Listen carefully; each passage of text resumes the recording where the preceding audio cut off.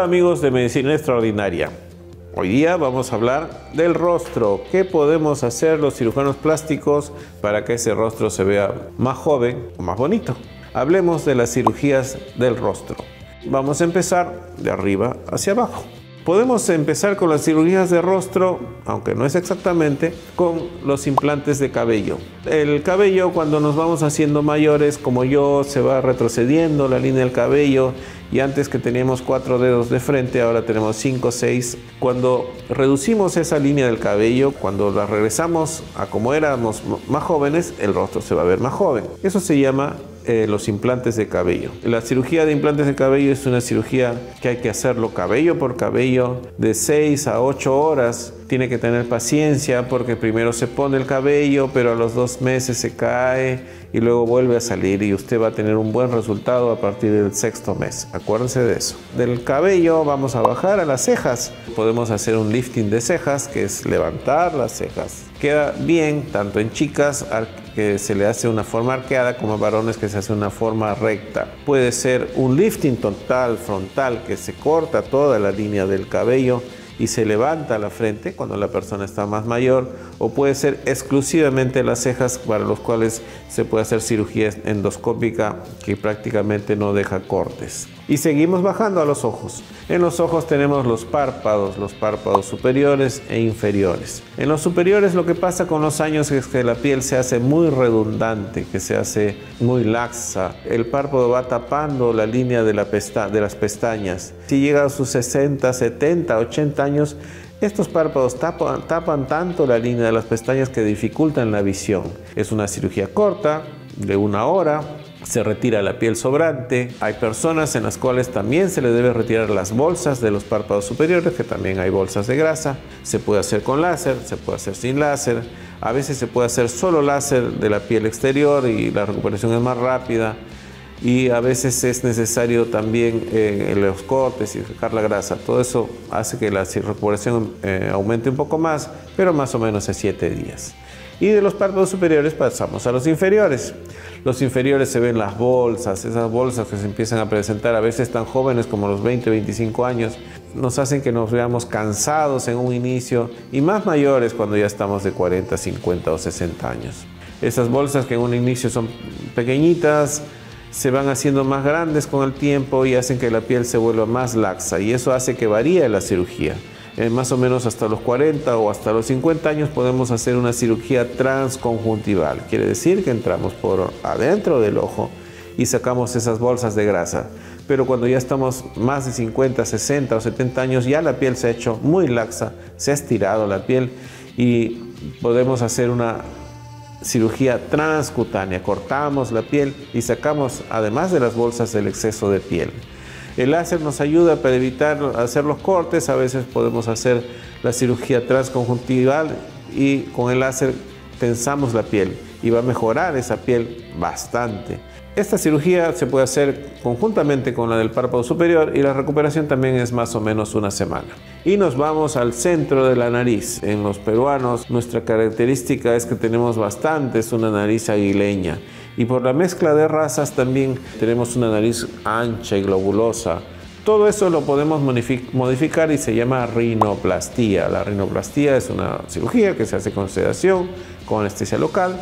Lo que buscamos siempre es llevarlo a lo estéticamente más agradable. Demora una hora, una hora y media. Por las características de nuestro tipo de cirugía, la persona se hincha muy poco y a las dos semanas más o menos es el resultado. Acuérdense, para la rinoplastía usted no va a querer que lo vean más o menos dos semanas, que siempre va a estar con un parche en, la nariz. A las dos semanas se retira y ya puede usted hacer su vida prácticamente normal porque la hinchazón se ve muy poca en realidad. Y de la nariz y a la misma altura están las orejas, las orejas que también es el marco del rostro. Y las orejas presentan a veces algo que se llaman orejas en habano, o sea, las orejas así grandecitas. A veces el óvulo también es muy grande y las orejas están despegadas. Eso se llama autoplastía. En la autoplastía modificamos varias cosas de la oreja, lo que necesite el paciente. A veces la pegamos, a veces le damos eh, más eh, la forma, dependiendo de lo que hagamos, demora una hora. Lo incómodo de las orejas sí es que tienen que estar parchadas después durante unos cinco días con un vendaje compresivo, es decir, apretadas para que no se hinchen demasiado.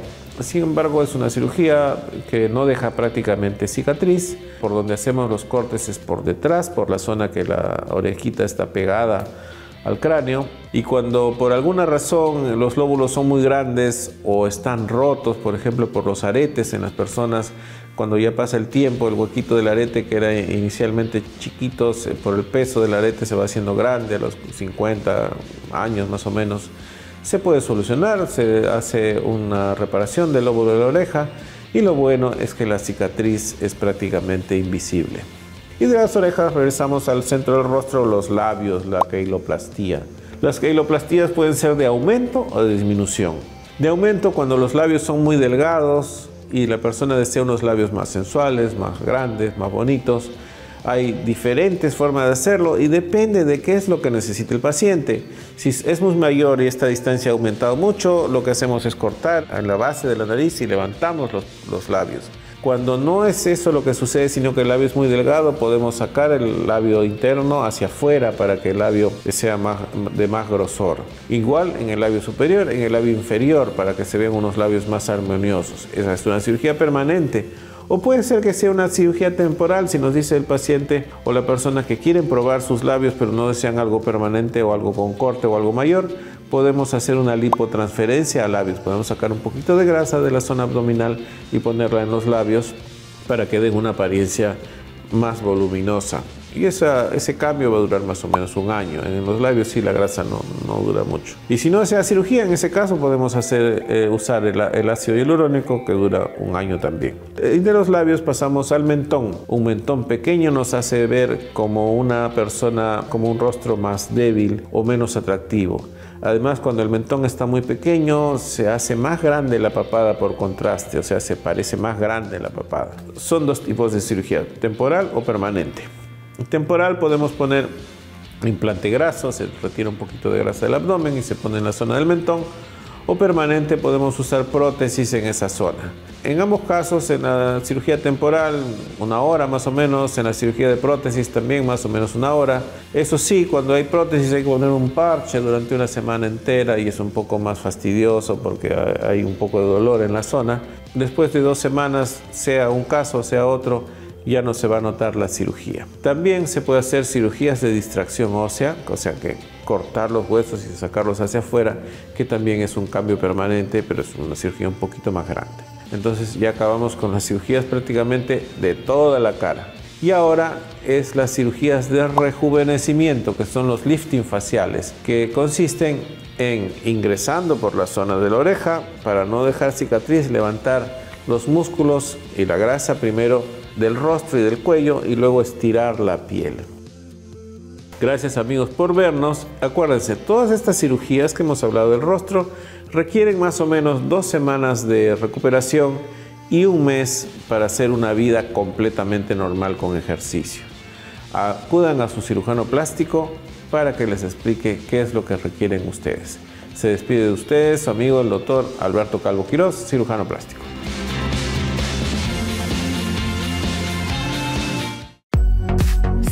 En Instagram y accede a los cambios más asombrosos, tratamientos de belleza y mucho más de salud. Solo búscanos como Medicina Extraordinaria.